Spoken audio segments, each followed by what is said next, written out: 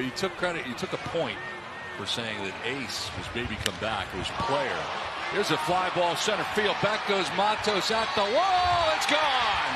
Into the Padres bullpen for Fernando Tatis Jr. And the Padres take a 3-1 lead. Now blast out to right center field for Hernando.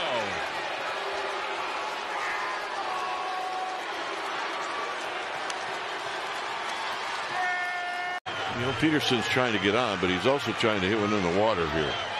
He's trying to tie it up. High drive. Right field.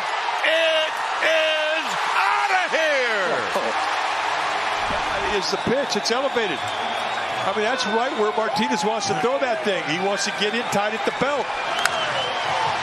And Peterson just whacks it right out of here. Coming through here.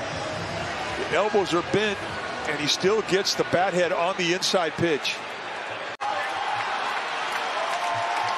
Three and two. And this one is over. It's over! It's over! It's over! Well, they found another way.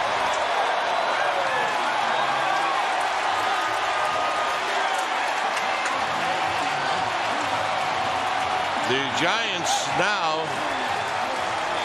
have won nine straight.